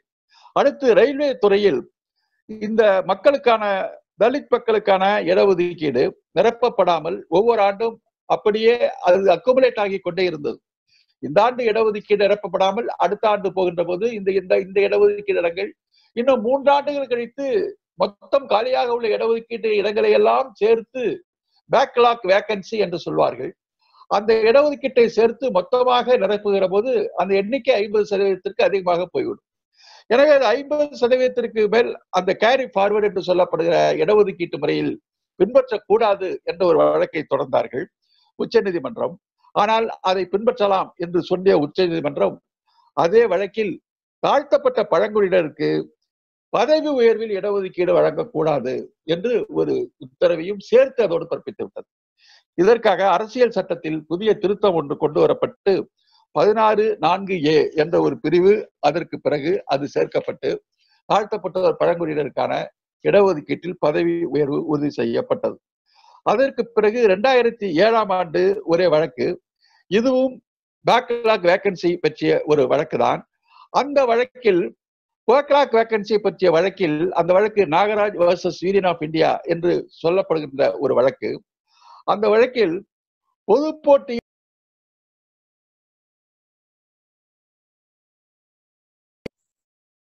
இடஒதுக்கீட்டு பிரிவில் இடம்பெற்ற ஒருவர் பொது போட்டியில் இடம்பெறக்கூடாது என்று தொடர்ந்த ஒரு வழக்கு. அப்படி பொது போட்டியில் இடம்பெறலாம் என்று அந்த வழக்கில் அவர்கள் தீர்ப்பளித்தார்கள். அண்மையில் கூட இரண்டு வாரத்திற்கு முன்பு மத்திய பிரதேச மாநிலத்தில் முப்பத்தி மூன்று சதவீத பெண்களுக்கான இடஒதுக்கீடு இருக்கிறது. அந்த முப்பத்தி மூன்று சதவீத பெண்களுக்கான இடஒதுக்கீடு அந்த மாநிலத்தில் எப்படி இருக்கிறது என்று சொன்னால் அதற்குள்ளேயே பெண்களுக்கே பிற்படுத்தப்பட்டோர் பெண்களுக்கே தாழ்த்தப்பட்டோர் என்று அந்த முப்பத்தி மூன்று சதவீதத்தை பிரித்து ஒதுக்கீடு செய்து வருகிறார்கள். இதில் ஒரு பேராசிரியர் பதவிக்கு தேர்வு செய்யப்பட்ட ஒரு பெண் அந்த தேர்ச்சியில் அந்த தேர்வில் முதல் இடத்தை பெற்று தேர்ச்சி பெற்றார். எனவே அவருக்கு திறந்த போட்டியிலே மாநில அரசு அதற்கான இடத்தை வழங்கி உத்தரவிட்டது. இது கூடாது. அவருக்கு இடஒதுக்கீட்டுகள் முப்பத்தி மூன்று சதவீத இடஒதுக்கீட்டின் தான் வர வேண்டும். திறந்த போட்டியில் கொடுக்கக்கூடாது என்ற ஒரு வழக்கு வந்தபோது இரண்டு வாரங்களுக்கு முன்பு உச்சநீதிமன்றம் தகுதி அடிப்படையில் திறமை பெற்று தேர்வு பெறுகின்ற ஒரு வேட்பாளரை திறந்த போட்டியில் தாராளமாக நியமிக்கலாம் என்ற ஒரு உத்தரவை பிறப்பித்ததை நான் இப்போது இந்த நேரத்தில் சுட்டிக்காட்ட விரும்புகிறேன். எனவே அதற்காக ஒரு வழக்கு. பிறகு இரண்டாயிரத்தி ஐந்தாம் ஆண்டு இனாம்தார் என்று சொல்லப்படுகிற மகாராஷ்டிரா வழக்குக்கு நிகழ்ந்த வழக்கு. அதுல அரசு உதவி பெறாத தனியார் நிறுவனங்களில் இடஒதுக்கீட்டை கட்டாயப்படுத்தக் கூடாது என்று ஒரு தீர்ப்பை உச்சநீதிமன்றம் வழங்கிவிட்டது. அரசு உதவி பெறாத தனியார் நிறுவனங்கள் இடஒதுக்கீட்டை கட்டாயப்படுத்தக்கூடாது என்ற ஒரு தீர்ப்பை அவர் வழங்கினார்கள். பிறகு அதற்காக ஒரு சட்ட திருத்தம் தொண்ணூத்தி மூன்றாவது சட்ட திருத்தம் உண்டாக்கப்பட்டு பதினைந்து ஐந்து என்ற பிரிவு அதில் சேர்க்கப்பட்டு அரசு உதவி பெறாத தனியார் நிறுவனங்களிலும் இடஒதுக்கீட்டை கட்டாயம் அமல்படுத்த வேண்டும் என்ற ஒரு தீர்ப்பு பெறப்பட்டது இப்படி பல்வேறு இடையூறுகளை செய்வதற்கு பல்வேறு தீர்ப்புகள் வந்திருக்கின்றன. ஆனால் ஒவ்வொரு தீர்ப்பிலும் இடஒதுக்கீட்டிற்கு சாதகமாக ஒரு கருத்தை சொன்னால் அதை பாதிக்கின்ற சில கருத்துக்களையும் சேர்த்துதான் நீதிமன்றங்கள் தொடர்ச்சியாக பேசிக்கொண்டே இருந்திருக்கின்றன. பெரியார் இந்த உச்ச நீதிமன்றத்தின் மீது நம்பிக்கை இல்லை. ஆயிரத்தி தொள்ளாயிரத்தி எழுபத்தி ஒன்றாம் ஆண்டு சேலத்திலே பெரியார் ராமன் படத்தை ஏதோ செருப்பால் அடித்து விட்டதாக கூறி ஒரு பெரிய கூக்குரல் கிளம்பிய போது உங்களுக்கு தெரிந்திருக்கலாம் வரலாற்று செய்தி. அந்த மாநாட்டிலே பெரியார் போட்ட தீர்மானங்களில் ஒன்று உச்ச நீதிமன்றம் ஒன்றே இந்த நாட்டில் இருக்கக்கூடாது அதை எடுத்து விட வேண்டும் என்று தீர்மானம் சேலம் மாநாட்டிலே போட்டவர் பெரியார். எனவே இந்த நீதிமன்ற தீர்ப்புகளில் பெரியார் என்றைக்கும் நீதிமன்றங்கள் மீது நம்பிக்கை இல்லை. அவர் மீது தொடரப்பட்ட ஐந்து முக்கிய வழக்குகளில் எதிர்த்து வாழாடாமல் ஐந்து வழக்குகளிலும் நீதிமன்றத்திலே தனது சார்பில் ஒரு அறிக்கையை அங்கே படித்து எதிர்ப்பை நீதிமன்றத்திலே துணிச்சலுடன் பதிவு செய்து நீதிமன்றம் கொடுக்கின்ற தண்டனையை நான் ஏற்றுக்கொள்கிறேன். நான் எதிர்விளக்காட தயாராக இல்லை என்று சொல்லக்கூடிய தலைவராக பெரியார் அவர்கள் இருந்திருக்கிறார்கள். இது எவ்வளவு மோசடி என்பதற்கு இந்த நீட் தேர்வு வழக்கில் நான் சுருக்கமாக சொல்ல வேண்டும் என்று சொன்னால் ரெண்டாயிரத்தி பதிமூணாம் ஆண்டு மூன்று பேர் அடங்கிய உச்சநீதிமன்ற அமர்வு நீட் தேர்வு முறை செல்லாது. அதை பின்பற்ற வேண்டிய தேவையில்லை என்று தீர்ப்பளித்து விட்டது. மூன்று நீதிபதிகளில் ரெண்டு நீதிபதிகள் செல்லாது என்று தீர்ப்பு தீர்ப்பளித்து விட்டார் அனில் தவே என்று சொல்லப்படுகிற ஒரே ஒரு நீதிபதி மட்டும் நீட் தேர்வு வேண்டும் என்று தீர்ப்பளித்தார். இது ரெண்டாயிரத்தி பதிமூன்றாம் ஆண்டு.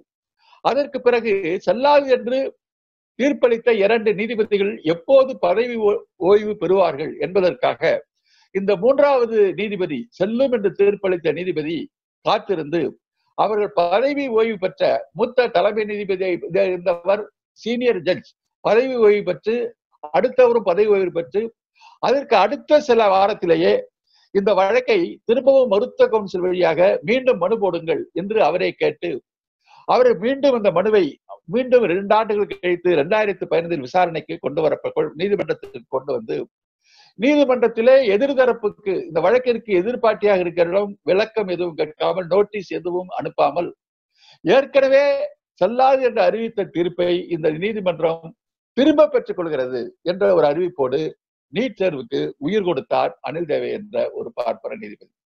இப்போது இரண்டாயிரத்து பதிமூன்றாம் ஆண்டில் செல்லாது என்று இரண்டு நீதிபதிகள் வழங்கிய தீர்ப்பை இரண்டு ஆண்டுகள் கழித்து அவர்கள் பதவி ஓய்வுக்காக காத்திருந்து முறையாக அந்த வழக்குக்கு அனுப்ப வேண்டிய தாக்கீதுகளை அனுப்பாமல் அந்த வழக்கினுடைய தீர்ப்பு திரும்ப பெறப்படுகிறது என்ற அறிவிப்பின் அடிப்படையில் தான் இப்போது நீட் தேர்வுகள் நடத்தப்பட்டு கொண்டு இருந்து கொண்டிருக்கிறது என்பதை நாம் கவனிக்க வேண்டும்.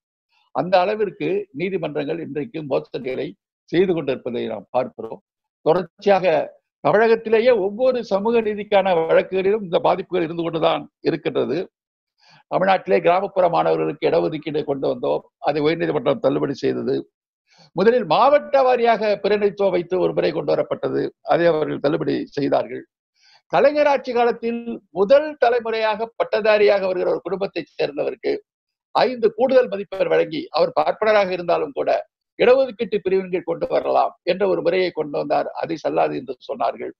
சாதி மறுப்பு திருமணம் செய்து கொண்டவர்களுக்கு இடஒதுக்கீடு செய்யலாம் என்ற ஒரு சட்டம் திமுக ஆட்சியில கொண்டு வரப்பட்டது. அதை செல்லாது என்று அவர்கள் சொன்னார்கள்.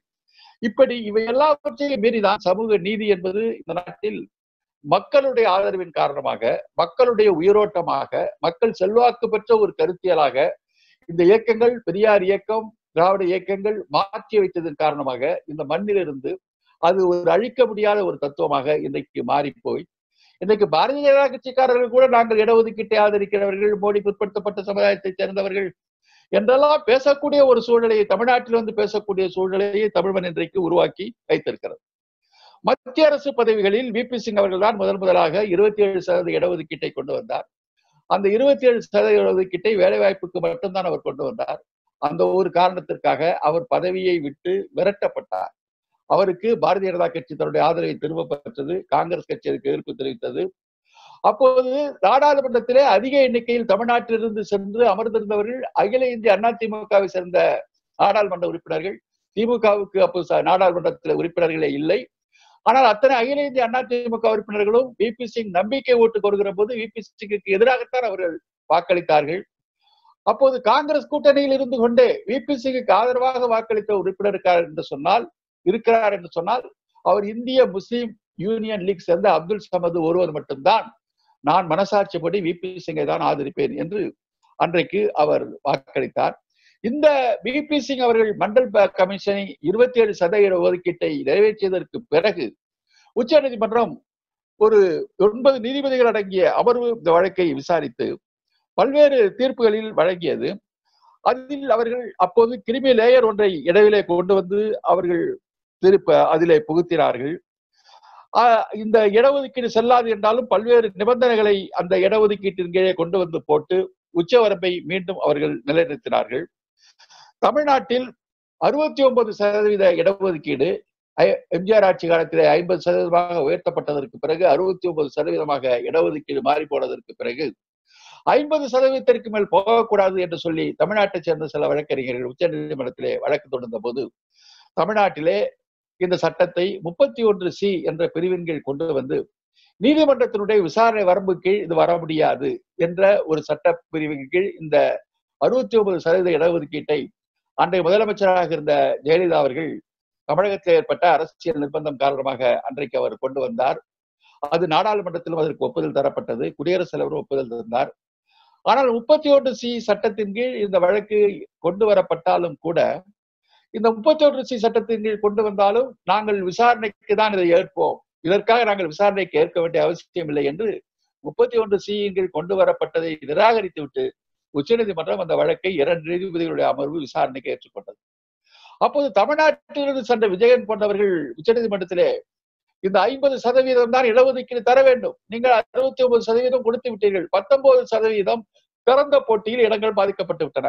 எனவே பத்தொன்பது சதவீத இடங்களை நீங்கள் திறந்த போட்டியில் கூடுதலாக தர வேண்டும் என்று தொடர்ச்சியாக ஆயிரத்தி தொள்ளாயிரத்தி தொண்ணூத்தி மூன்றாம் தொண்ணூத்தி நான்காம் ஆண்டிலிருந்து ஒவ்வொரு ஆண்டும் இங்கிருந்து போய் மனு போட்டு அந்த பத்தொன்பது இடங்களை கூடுதலாக பெற்றுக்கொண்டே வந்து கொண்டிருக்கிற ஒரு நிலை. கடைசியாக கடந்த ஆண்டுதான் உச்ச நீதிமன்றம் இந்த கூடுதல் இடங்களை தர முடியாது என்று அறிவித்த ஒரு நிலையை நாம் பார்த்து கொண்டு இருக்கிறோம்.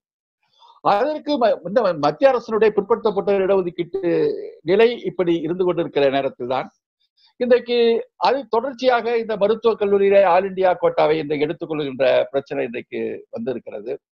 பிற்படுத்தப்பட்டோர் ஆணையத்தை நாங்கள் தான் அமைத்து விட்டோம் என்று சொல்கிறார்கள்.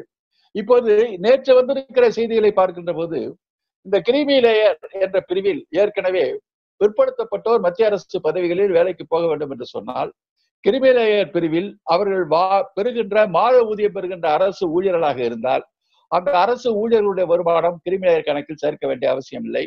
விவசாயத்திலிருந்து கிடைக்கக்கூடிய வருமானத்தை சேர்க்க வேண்டிய அவசியம் இல்லை என்று சொல்லி வேறு வகையிலே அவருடைய கிரிமிலேயர்களை நிர்ணயித்தார்கள். இப்போது மத்திய அரசு அரசு ஊழியர்கள் மத்திய அரசு ஊழியர்கள் தன்னுடைய தந்தை அரசு ஊழியராக இருந்து அவர் வாழ்கின்ற ஊதியம் இவர்கள் நிர்ணயித்த எட்டு லட்சத்தை விட கூடுதலாக போகும் என்று சொன்னால் அவர் பிற்படுத்தப்பட்டவராக ஆக முடியாது என்று மத்திய அரசு ஒரு முடிவெடுத்தது. பிற்படுத்தப்பட்டவர் ஆணையம் இதை ஏற்றுக்கொள்ள முடியாது என்று மறுத்தது. நேற்று ஏடுகள் செய்திருந்திருக்கிறது மத்திய அரசனுடைய அந்த அஹ், அழுத்தத்திற்கு பிற்படுத்தப்பட்ட ஆணையம் சம்மதம் தெரிவித்து விட்டது. இனி மத்திய அரசு பதவிகளில் பிற்படுத்தப்பட்டவர்களாக இருக்கின்ற அரசு ஊழியர்களுடைய மாத ஊதியமும் கருவிலையர் கணக்கில் எடுத்துக்கொண்டு எட்டு லட்சத்திற்கு மேல் ஆண்டிற்கு சம்பாதிக்கக்கூடியவர்கள் பிற்படுத்தப்பட்டவராக ஆக முடியாது என்ற நிலையை அவர்கள் இன்றைக்கு உருவாக்கி இருக்கிறார்கள் கல்விக்கான இடஒதுக்கீடு என்பது கொண்டு வரப்பட்ட போது அந்த ரெண்டாயிரத்து அர்ஜுன் சிங் அவர்கள் இந்த இடஒதுக்கீட்டை கல்விக்கான இடஒதுக்கீட்டை கொண்டு வந்தது ரெண்டாயிரத்தி ஆறாம் ஆண்டு கொள்ளி கொண்டு வந்தார். நீங்கள் ஒன்றை கவனிக்க வேண்டும். ஆயிரத்தி தொள்ளாயிரத்தி எண்பதாம் ஆண்டு சமர்ப்பிக்கப்பட்ட பிற்படுத்தப்பட்டோருக்கான மண்டல் அறிக்கையில் இருபத்தி ஏழு சதவீதக்கீடு ஆணை ஆயிரத்தி தொள்ளாயிரத்தி தொண்ணூத்தி மூன்றில் தான் அமல்படுத்தப்பட்டது. அதற்கு தேவைப்பட்ட ஆண்டுகள் பதிமூன்று ஆண்டுகள். அதே மண்டல அறிக்கையில் கல்விக்கான இடஒதுக்கீடு வந்தது ரெண்டாயிரத்தி ஆறாம் ஆண்டு. ரெண்டாயிரத்தி ஆறாம் ஆண்டு வந்தது வந்த போது கூட காங்கிரஸ் கட்சியில ஒரு பிரிவினர் இதற்கு கடுமையாக எதிர்ப்பு தெரிவித்து பிறகு இந்த கல்விக்கான இடஒதுக்கீட்டு இருபத்தி ஏழு சதவீத இடஒதுக்கீட்டை தொடர்ச்சியாக அமல்படுத்தக்கூடாது. அதை மூன்று கட்டங்களாக அமல்படுத்த வேண்டும். இந்த மூன்று கட்டங்களாக அமல்படுத்துகிற போது திறந்த போட்டியில் போட்டியிடுகின்ற இடங்களில் எண்ணிக்கையை கூடுதலாக அதிகரித்து தர வேண்டும் என்று ஒரு கமிட்டியை போட்டு அந்த கமிட்டியினுடைய பரிந்துரையை ஏற்று செயல்படுத்துகிற நிலைதான் இன்றைக்கும் இருந்து கொண்டு இருக்கிறது. அந்த ஆனால் பார்ப்பன உயர்ஜாதிற்கான பத்து சதவீத இடஒதுக்கீடுக்கு தேவைப்பட்டது மூன்று நாட்கள் மட்டும்தான். மாநிலங்களவையிலே நிறைவேற்றினார்கள். நாடாளுமன்றத்தை ஒரு நாள் விரிவாக்கம் கூடுதலாக அதிகரித்து அதில் கொண்டு வந்து நிறைவேற்றி அடுத்த நாளே குடியரசுத் தலைவரிடம் கையெழுத்து வாங்கி அதை கொண்டு வந்து நிறைவேற்ற நிறைவேற்றி விட்டார்கள். கல்வியில இடஒதுக்கீடு வந்ததற்கு பிறகும் கூட இன்றைக்கு தமிழ்நாட்டில் பல மத்திய அரசு நிறுவனங்களில் பாதி அளவிற்கு ஒரு பத்து சதவீத இடஒதுக்கீட்டிற்கு கூட பிற்படுத்தப்பட்ட ஒரு நிலை இன்றைக்கு அங்கே சென்று அடையவில்லை. ஐஐடி நிறுவனங்களில் எட்டு சதவீதம் தாழ்த்தப்பட்டோர் பிற்படுத்தப்பட்டோர் எல்லோரும் சேர்ந்து பேராசிரியர்கள் துறை பேராசிரியர்கள் வெறும் எட்டு சதவீதம் பேர் தான் இருக்கிறார்கள் என்று நாடாளுமன்றத்திலே பாரதிய ஜனதா கட்சி அரசு வெளியிட்ட அறிவிப்பு கூறிக்கொண்டு இருக்கிறது. இவை பற்றியெல்லாம் ஏராளமான தகவல்கள் எல்லாம் வந்து கொண்டு இருக்கின்றன. எனவே இந்த நிலையில் இடஒதுக்கீடு சமூக நீதியை காப்பாற்றுவதற்கான ஒரு பெரும் போராட்டத்தை நாம் நடத்தி கொண்டிருக்கின்ற ஒரு சூழ்நிலையில் இந்த கல்விக்கான இடஒதுக்கீடு இந்த வேலை வாய்ப்புக்கான இடஒதுக்கீடு சமூக நீதி என்ற கோட்பாடு இந்த இடஒதுக்கீட்டுடைய நோக்கம் எதற்காக வந்தது கொண்டு வரப்பட்டது என்று சொன்னால் ஒரு மனிதன் சாதியின் பெயரால் அடிமைப்பட்டவனை அவருடைய குலத்தொழிலிருந்து அது மீட்டெடுக்கிறது. சமுதாயத்தில் தானும் ஒரு மனிதன் என்ற சுயமரியாதையை உருவாக்கி தருகிறது. இந்த நாட்டினுடைய அதிகாரத்தில் அவனுக்கு ஒரு பங்கு வகிக்கக்கூடிய ஒரு உரிமையை எம்பவர்மெண்ட் என்ற உரிமையை தருகிறது என்ற அடிப்படையில் இந்த இடஒதுக்கீடு வந்தது. ஆனால் தமிழ்நாட்டில் இன்றைக்கு வேலை வாய்ப்புகளில் பிற்படுத்தப்பட்டோர் இடஒதுக்கீடு கல்வியில் அஹ், பிற்படுத்தப்பட்டோர் இடஒதுக்கீடு எல்லாம் நடைமுறையில இருந்து கொண்டு இருக்கின்றன.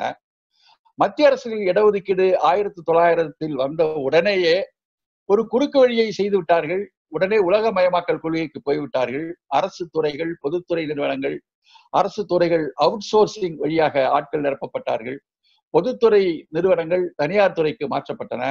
எனவே தனியார் துறைக்கு இடஒதுக்கீடு இல்லை என்ற காரணத்தினால் பொதுத்துறை நிறுவனங்களில் அரசு துறை நிறுவனங்களில் இருக்கின்ற வேலை வாய்ப்புகளே கணிசமாக குறைக்கப்பட்ட நிலையில் இடஒதுக்கீடு சட்டம் இருந்தாலும் அதை பயன்படுத்த முடியாத ஒரு சூழ்நிலையை மிக தந்திரமாக அன்றைக்கே அஹ், நரசிம்மராவ் ஆட்சி காலத்திலே அது தொடங்கி வைக்கப்பட்டு அது தொடர்ச்சியாக நடந்து கொண்டு இருக்கிறது.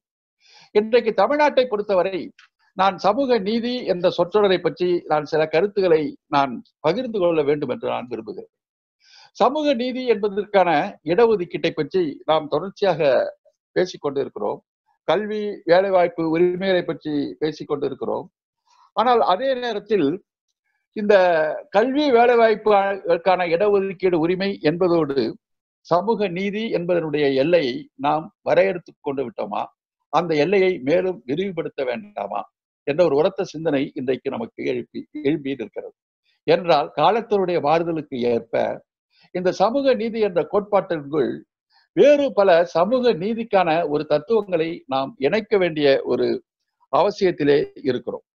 பொதுவாக இந்த சமூக நீதியை பற்றி பேசுகிற போது சமூக மூலதனம் என்ற ஒரு சொற்றொடரை சமூகவியலாளர்கள் பயன்படுத்துகிறார்கள்.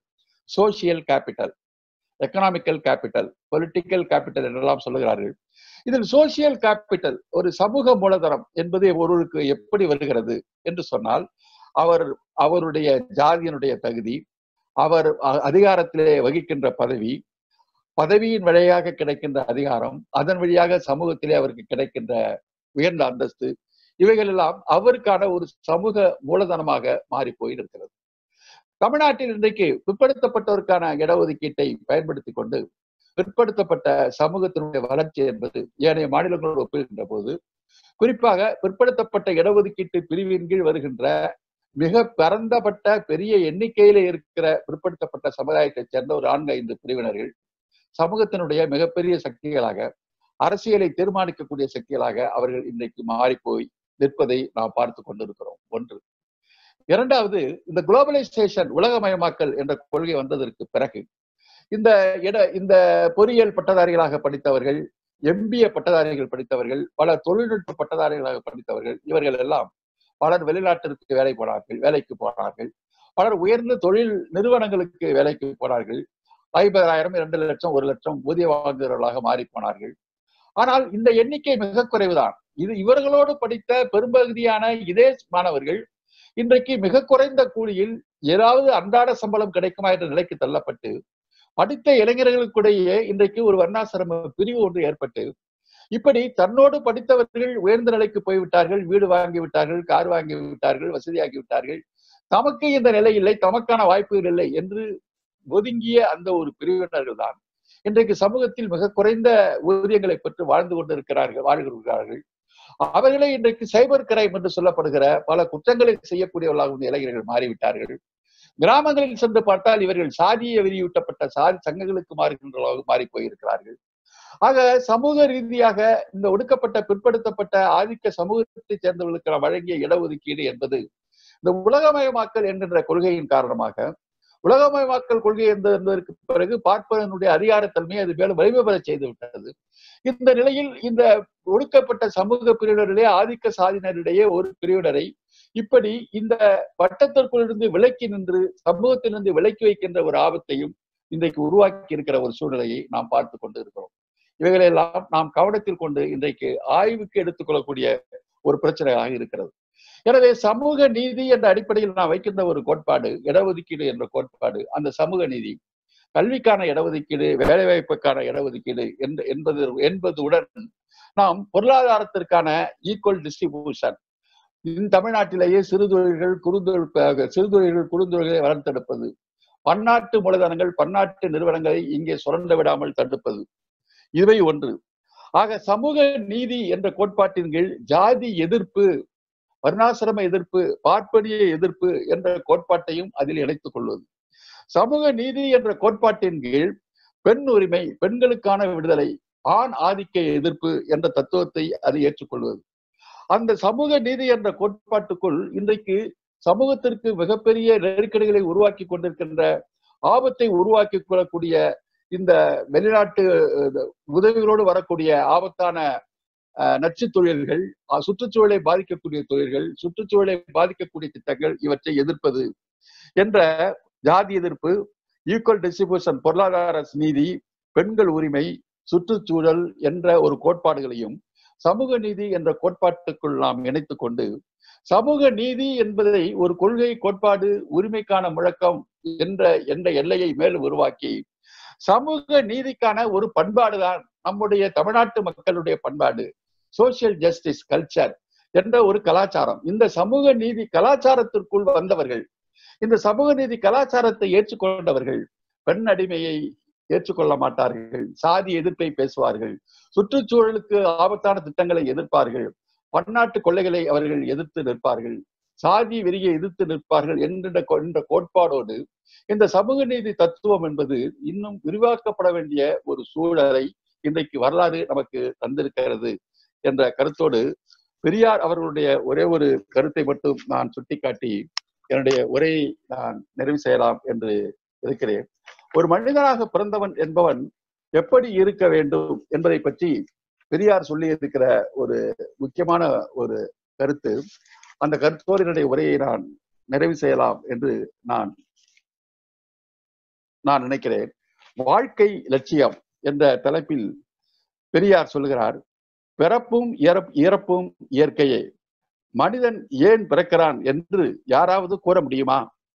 பிறந்து எதற்காக வாழ்கிறான் எதற்காக இறந்து போகிறான் என்று யார் கூற முடியும்? இதை கேட்டால் அது கடவுள் செயல். கடவுள் பிறப்பிக்கிறார் கடவுள் காப்பாற்றுகிறார் சாகடிக்கிறார் என்றுதான் கூற முடியுமே தவிர வேறு சரியான காரம் காரணம் கூற முடியுமா? அவன் எந்த குறிப்பிட்ட லட்சியத்தின் மீது தனக்கு பிள்ளை வேண்டும் என்று பிள்ளையை பெறுகிறான் என்றால் எதற்காக பிள்ளை வேண்டும் என்பதை அவனால் கூற முடியுமா? அவனை கேட்டால் கூட தெரியாது. குழந்தை அடைந்ததும் அதை ஏன் காப்பாற்ற வேண்டும்? அதற்கு ஏன் கல்வி புகட்ட வேண்டும் என்ற லட்சியத்தை அவனால் கூற முடியாது. ஏதோ தம் பிள்ளை படிக்க வேண்டும் என்பார்களே தவிர எதற்காக கல்வி கற்க வேண்டும் என்றே தெரியாது. இவ்விதமே எல்லாமே ஒரு லட்சியத்தை அடிப்படையாக கொண்டு இராமல் இருக்கின்றன. வாழ்க்கை என்ற ஏனைப்படியில் கால் வைக்கும் போது நாம் எங்கே ஏறுகிறோம்? கடைசியாக எங்கே போவோம் என அறியக்கூடவில்லை. அறிய நாம் அறியக்கூட இல்லை. நாம் ஏறி முடிந்தால் போதும் என்பதை கொண்டிராமல் நாம் எப்படியோ ஏடிப்படியை ஏறி முடிந்தால் போதும் என்பதை கொண்டிராமல் ஒவ்வொரு படியாக ஏறிக்கொண்டே போக வேண்டும். அதை பிடித்தவுடன் அதற்கு மேல் என்ன தெரிகிறதோ அதை பிடிக்க வேண்டும் என்று எல்லையே இல்லாமல் லட்சியமற்ற முறையிலேயே காலத்தை கடத்துகிறோம். இறுதியில் காலம் முடிந்து இறந்தே போய்விடுகிறோம். இப்படிப்பட்ட வாழ்க்கையால் ஒருவித பயனும் ஏற்பட்டு விட முடியாது. பிறகு லட்சியம் என்றால் என்ன? லட்சிய வாழ்க்கை என்றால் என்ன? பெரியார் கூறுகிறார் சமுதாயத்திற்கு பயன் தரும் வாழ்க்கையே சிறந்த லட்சியம். மனிதன் பிறந்து இறக்கும் வரை இடையில் உள்ள காலத்தில் ஏதாவது பயனுள்ள காரியம் செய்ய வேண்டும். அவன் வாழ்க்கை மற்றவர்களின் நலனுக்கும் சமுதாயத்தின் சுகத்திற்கும் பயனுள்ளதாக இருக்க வேண்டும். ஒருவன் ஒருவன் ஒருவன் என்பது அவனுடைய வாழ்க்கையால் ஒருவன் வாழ்வது என்பது அவனுடைய வாழ்க்கையால் பிற நன்மை அடைந்தார்கள். மற்றவர்கள் சுகம் கண்டார்கள் என அமைய வேண்டும். இதுவே இதுவே அவசியமும் பொருத்தமும் ஆகும். மனித வாழ்க்கை என்பதன் தகுதியான லட்சியம் இது என்றே கூறலாம். ஆனால் இந்த லட்சியத்தை கொண்டிருப்பவர்கள் வெகு சிலர்தான் என்று பெரியார் அவர்கள் சொல்கிறார்கள். ஆக ஒரு மனித வாழ்க்கை என்பதனுடைய அர்த்தமே அவன் ஒரு லட்சியத்திற்காக வாழ வேண்டும் என்ற கருத்தை தான் பெரியார் சொன்னார்கள் அந்த லட்சியத்தோடு வாழ்கின்ற நம்மை போன்றவர்களுக்கு வாழ்க்கை என்பது மிகவும் எளிமையாகவும் இனிமையாகவும் நல்ல ஒரு பயணத்தில் நாம் சென்று கொண்டிருக்கிறோம் என்ற பூரண திருப்தியையும் நமக்கு தந்து கொண்டிருப்பதோடு இந்த கொரோனா போன்ற நெருக்கடியான காலங்களில் நாம் எந்த தவிப்புக்கும் இல்லாமல் நெருக்கடியிலிருந்து மீளக்கூடிய ஒரு துணிவையும் இந்த குறிக்கோள் தான் நமக்கு தந்து கொண்டிருக்கிறது என்ற கருத்தோடு விடைபெறுகிறேன். நன்றி வணக்கம்.